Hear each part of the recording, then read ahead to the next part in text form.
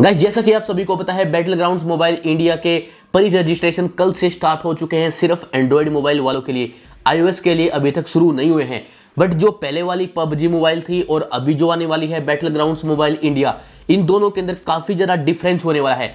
तो battle ground mobile India बी और जो पहले वाली थी आपकी पबजी, उन दोनों के अंदर आपको क्या क्या फ़र्क देखने को मिलेगा, आपको कमी किस चीज़ के अंदर देखने को मिलेगी तो यहाँ पर पूरा difference B G M I versus PUBG के बारे में आपको जानने को मिलने वाला है। So let start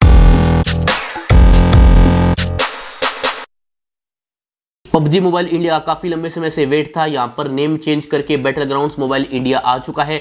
play store के ऊपर इसके प्री रजिस्ट्रेशन स्टार्ट है। अगर आप प्री रजिस्टर करके इसको डाउनलोड करोगे तो यहाँ पर आपको कुछ रिवॉर्ड मिलने वाले हैं जो कि इतने खास नहीं है। आप चाहे तो वैसे भी इसको डाउनलोड कर सकते हो। ये गेम आपको शायद जून के अंदर देखने को मिल सकता है। कोई कन्फर्म नहीं है कि आपको कब देखने को मिलेगा। बट काफ़ी जल्दी आपको ये देखने को मिल सकता है।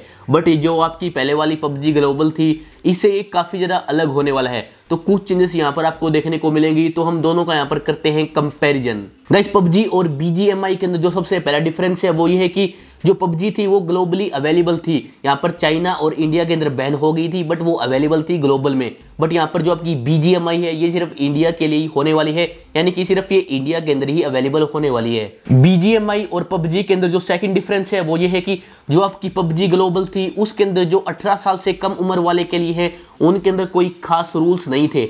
बट ये जो बैटल ग्राउंड मोबाइल इंडिया है, यहाँ पर काफ़ी सारे स्ट्रिक्ट रूल हैं, जिनकी एज 18 साल से कम है। अगर आपकी एज 18 साल से कम है तो यहाँ पर आप तीन घंटे से ज़्यादा गेम नहीं खेल पाओगे। यहाँ पर आपको आपके पेरेंट्स का नंबर भी भरना पड़ेगा वेरीफाई करना पड़ेगा। अगर आपकी एज अठारह साल से कम है, यहाँ पर गाइस आप सात हज़ार रुपये से ज़्यादा खर्च नहीं कर सकते एक दिन के अंदर, अगर आपकी एज अठारह साल से कम है। बट ये जो सभी रिस्ट्रिक्शन थी, ये पबजी मोबाइल ग्लोबल के अंदर नहीं थी। यहाँ पर जो तीसरा डिफरेंस आता है, वो है प्रोटेक्शन पॉलिसी का। गाइस जो पबजी मोबाइल थी, उसके अंदर कोई खास प्रोटेक्शन पॉलिसी नहीं थी। इसी वजह से उसको बैन भी किया गया था कि इंडियन यूज़र्स का डेटा खतरे में है। बट गई जो बैटल ग्राउंड मोबाइल इंडिया है, इसके अंदर आपकी सिक्योरिटी का काफ़ी ज़्यादा ध्यान रखा जाएगा। तो बीजीएमआई काफ़ी ज़्यादा सेफ़ रहने वाली है आपके लिए पबजी मोबाइल से। जो तीसरा डिफरेंस है, वो है इन दोनों के गेम के कंटेंट के अंदर। जो पबजी मोबाइल ग्लोबल थी, उसके अंदर लगभग सेम कंटेंट रहता था काफ़ी सारी कंट्री के लिए बट यहाँ पर जो B G M I battleground mobile India आने वाली है, यहाँ पर स्पेशल कंटेंट रहने वाला है इंडियन प्लेयर्स के लिए तो बी जी एम आई काफ़ी ज़्यादा अलग रहने वाली है। जो इन दोनों के अंदर नेक्स्ट डिफरेंस है, पबजी ग्लोबल के अंदर आप ग्लोबल वाले प्लेयर के साथ भी खेल सकते थे, यानी कि और कोई कंट्री वाले भी आपकी मैचिंग के अंदर आ सकते थे। बट यहाँ पर जो बैटल ग्राउंड मोबाइल इंडिया है, आपकी जो मैचिंग होने वाली है, वो सिर्फ़ इंडियन प्लेयर के साथ होने वाली है। आप कई बार देखते होंगे जो आपकी मैचिंग होती थी, वो पहले किसी और प्लेयर के साथ भी हो जाती थी पबजी ग्लोबल के अंदर। बट यहाँ पर सिर्फ़ इंडियन प्लेयर ही आ पाएँगे, क्योंकि ये गेम सिर्फ़ इंडिया के लिए है यहाँ पर आप सर्वर को भी चेंज नहीं कर पाओगे, यानी कि आपका एक ही सर्वर रहने वाला है। बट जो पबजी ग्लोबल थी, वहाँ पर आप सर्वर को चेंज कर सकते थे। पबजी मोबाइल के अंदर आप सर्वर को चेंज कर पाते थे। बैटल ग्राउंड मोबाइल इंडिया सिर्फ़ इंडिया के अंदर चलने वाली है। आप कोई भी सर्वर को चेंज नहीं कर सकते हो। यहाँ पर जो नेक्स्ट डिफरेंस है वो है यहाँ पर इसके आउटफिट का और काफ़ी सारे और चीज़ें जो आपको गेम के अंदर देखने को मिलती थी।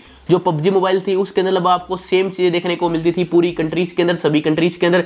बट यहाँ पर जो बैटल ग्राउंड मोबाइल इंडिया है, यहाँ पर आपको स्पेशल चीज़ें देखने को मिलेगी इंडियन पब्लिक के हिसाब से। तो यहाँ पर काफ़ी कुछ अलग देखने को मिलने वाला है इन्वेंट्री के अंदर भी और यहाँ पर जो आउटफिट थी, उसके अंदर भी। गाइस पबजी के अंदर और बीजीएमआई के अंदर जो नेक्स्ट डिफरेंस है, वो ये है कि जो पबजी मोबाइल थी गाइस उसका जो लाइसेंस था, वो चाइना के पास था, उनकी टेंसेंट कंपनी के पास था। एक ये भी बड़ा रीजन था, पबजी मोबाइल के इंडिया में बैन होने का। बट गाइस जो बैटल ग्राउंड मोबाइल इंडिया है, ये चाइना की नहीं रहने वाली है, ये क्राफ्टन कंपनी की ही रहने वाली है, और ये काफ़ी जल्दी आपको देखने को मिल जाएगी। सो चाइना से बैटल ग्राउंड मोबाइल इंडिया का लिंक नहीं है, इसको चाइना वाले नहीं लेकर आ रहे हैं, इसको क्राफ्टन वाले ही लेकर आ रहे हैं, जो कि काफ़ी अच्छी बात है। तो गाइस ये थे कुछ डिफरेंस जो आपको पबजी और बीजीएमआई के अंदर देखने को मिलेंगे। तो रजिस्ट्रेशन स्टार्ट हो चुके हैं। आप प्री रजिस्टर करवा सकते हो। गेम आपको शायद जून के अंदर देखने को मिल जाएगी कन्फर्म नहीं है। तो कमेंट करके आप पूछ सकते हैं, अगर आप कुछ और पूछना चाहते हैं। Thanks for watching